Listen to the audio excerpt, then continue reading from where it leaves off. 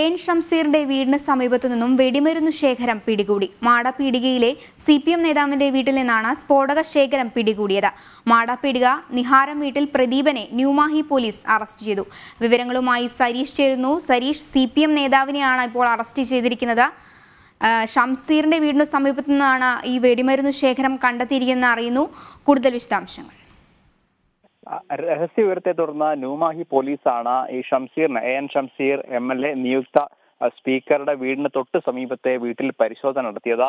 നിഹാരം എന്ന വീട്ടിൽ നിന്നാണ് സ്ഫോടക വസ്തുക്കൾ പിടികൂടിയത്. ബോംബിന് സമാനമായി വെടിമരുന്നും ഒപ്പം തന്നെ തിരികളും കെട്ടിവച്ച നിലയിൽ എട്ട് എട്ട് തരത്തിൽ കെട്ടിവച്ച രീതിയിലുള്ള സ്ഫോടക വസ്തുക്കളും ഒപ്പം തന്നെ ബോംബ് നിർമ്മാണ സാമഗ്രികളുമാണ് ഇന്ന് പിടികൂടിയിരിക്കുന്നത്. മാടപ്പിടിക നിഹാരം വീട്ടിൽ പ്രദീപനെ ഈ വീടിന്റെ ഉടമസ്ഥനായ പ്രദീപനെ പിടികൂടുകയും ചെയ്തിട്ടുണ്ട്. ഇയാൾ പ്രാദേശിക സി പി എം നേതാവാണ്.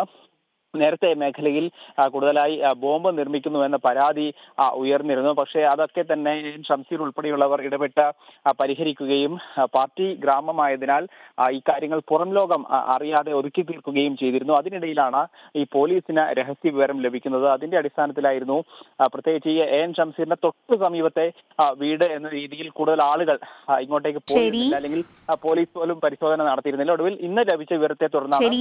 എൻ ഷംസീറിന്റെ വീടിന് സമീപത്ത് നിന്നും വെടിമരുന്ന് ശേഖരം പിടികൂടി മാടപ്പീടികയിലെ സി പി എം നേതാവിന്റെ വീട്ടിൽ നിന്നാണ് സ്ഫോടക ശേഖരം പിടികൂടിയത്.